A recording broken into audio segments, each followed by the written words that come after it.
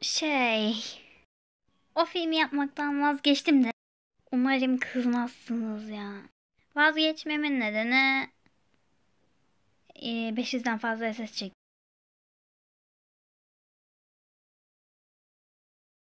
Ve galerimde yer kalmadı. Ama o karakterleri çok sevdim. Bu yüzden de onları TikTok videoları yaparsam veya bir başka film yaparsam kullanacağım tekrar. Kızacaklar.